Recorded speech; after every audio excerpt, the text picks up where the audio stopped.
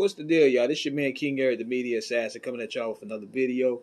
So I was on the Coli today, and there was an interesting intake on the latest Dogg Pound album, and some of the people were bringing up interesting dialogue in regards to the Dogg Pound album because they some people feel that the joint was rushed. Some people like it was like thought it was dope, and what made me want to do this post was people are inciting that there may be creative differences between Snoop Dogg and Dr. Dre.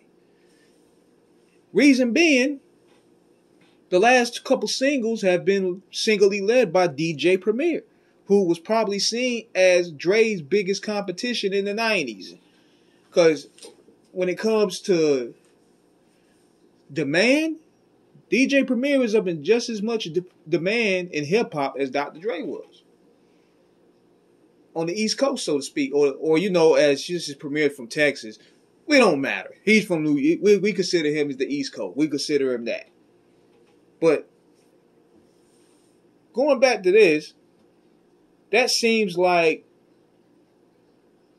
uh, a message sent to Dr. Dre, as according to one of the posters said. He said, because the, the Dogg Pound worked on this album within a week. From my understanding, they completed this whole album in a week. Big shout out to my guys Mike and Keys. They put they did some dope product on there. Whereas Dr. Dre, he'll probably taking years just to drop a snippet. And this is probably why the, the reunion album that Snoop and Dre was supposed to drop, the missionary album, hasn't dropped. Cause see, with this video, I want to tell y'all the breakdown. See, Dre's creative work is mind-boggling. His perfectionist mindset frustrates a lot of people.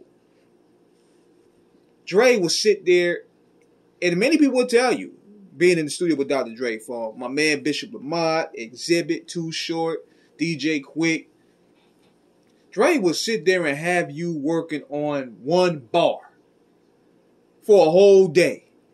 He'll tell you it's cool, it's dope, and then you gotta come in for more. Just to work, just to just to say one word it got to come out right. And that perfectionist shit frustrate people. That's why Tupac didn't want to. He tried to sit Tupac down and do that shit, and Tupac was like, "Hell no, you ain't sit me down with this, man." We, cause we know we, if we got creative juices, we're gonna drop the music right there.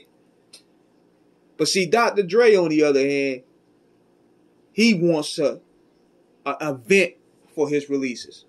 You can't argue with his track record every big every release, big release that Dr. Dre had. From the Chronic, from Doggystyle, Chronic 2001. Um, I would probably say some of the Death Row albums as well, because he was a part of that. He was a heavy part of that. They all had big energy field behind it. It felt like movie premieres. And then even with his own artists, with Eminem, 50 Cent, Game, Kendrick Lamar, Snoop, all these releases felt like monumental events within that time period.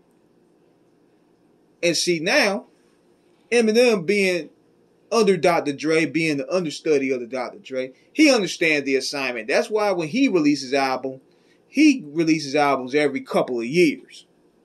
Cause he's a perfectionist too when it comes to lyrics, when it comes to bars even you can look on the off the cuff radio community page. You see how Eminem even writes. It's weird, but he's very passionate when it comes to hip hop and when it comes to rap music. He is very passionate. So he'll probably take all day just to focus on a couple bars. He learned that perfectionism under Dr. Dre. Even to the point where he fired Stat Quo just because he disagreed with him over a hook. Now, Snoop, on the other hand, he brings a vibrant, creative energy. He got people at the moment, like let's say, for example, he got Rage, Dogg Pound, RBX. He got all these people at the moment. He's ready to go right there, and he's ready to start releasing records or start working. Now, people may say that he's rushing releases. Some of them from the Dogg Pound, they I'm gonna be real, they felt rushed. But see, the batting average is strong. That's why Snoop is a proven hit maker.